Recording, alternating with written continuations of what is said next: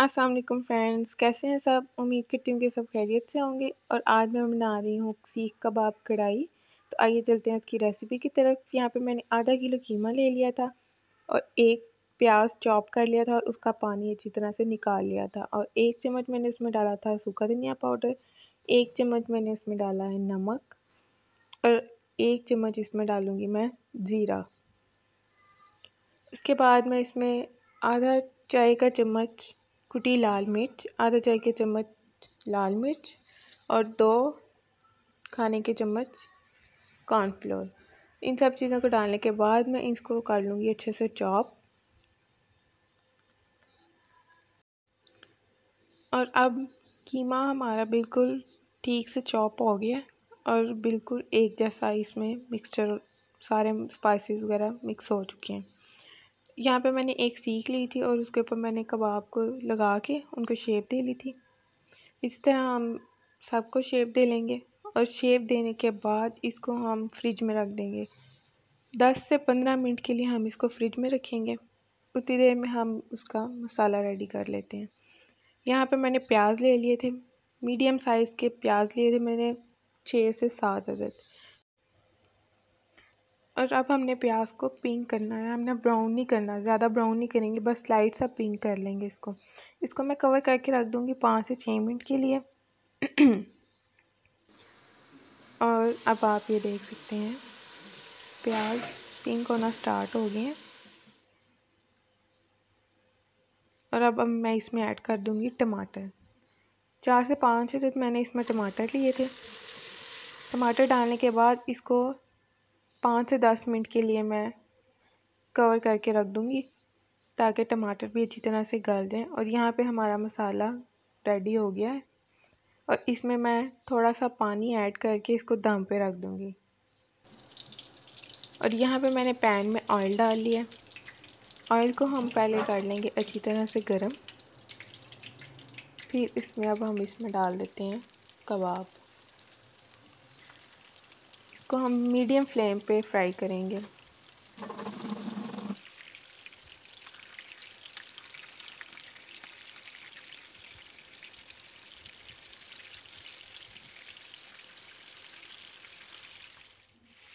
और कबाब हमारे यहाँ पे हो चुके हैं फ्राई। और अब मैं इसको निकाल लूँगी इस डिश में। इसमें निकालने के बाद इनको थोड़ा सा ठंडा कर लेंगे हम। तब तक हम मसाले में स्पाइसेस ऐड करते हैं। यहाँ पे मैंने एक चम्मच ज़ीरा लिया था।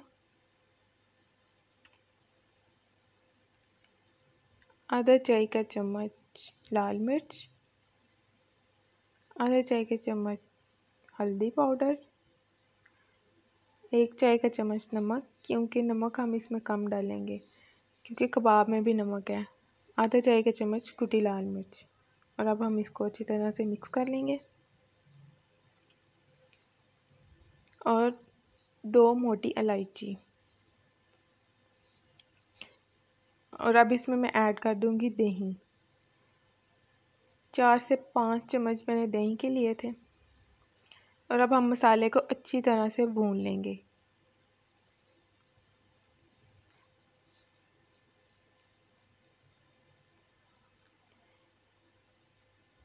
और मसाला तकरीबन हमारा यहाँ पे भून चुका है। क्योंकि मसाला ज़्यादा भुना हो तो अच्छा लगता है। और अब इसमें मैं ऐड कर दूँगी कबाब, जो मैंने फ्राई किए थे। कबाब ऐड करने के बाद इसको आपने सीधे चम्मच के साथ हिलाना है। फिर इस तरह ये टूटेंगे नहीं।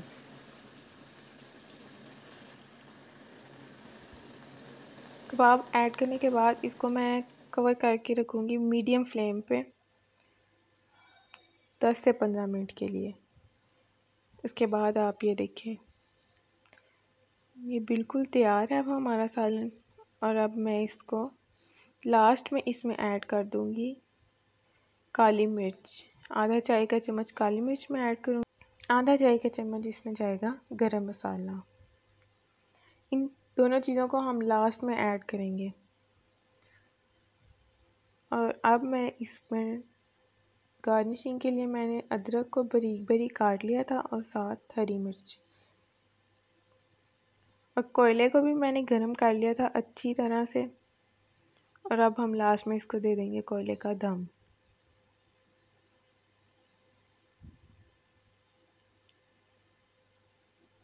अब मैं इसके अंदर डालूँगी ऑयल और इसको कवर करके रख दूँगी। पाँच मिनट के लिए हम इसको कवर करके रखेंगे। और ये हमारे सालन की अब है फाइनल लुक आप देख सकते हैं, बहुत ही मज़ेदार बना था। आप भी इस रेसिपी को ज़रूर ट्राई करें और मुझे बताएँ कि आपको मेरी रेसिपीज़ कैसी लगती हैं।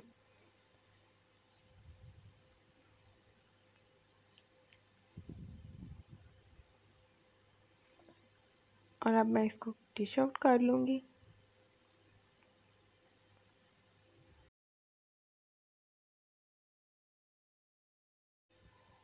आप इस रेसिपी को ज़रूर ट्राई करें। इंशाल्लाह आपको बहुत मज़ा आएगा और मेरे चैनल को लाइक शेयर एंड सब्सक्राइब करना नहीं भूलिएगा।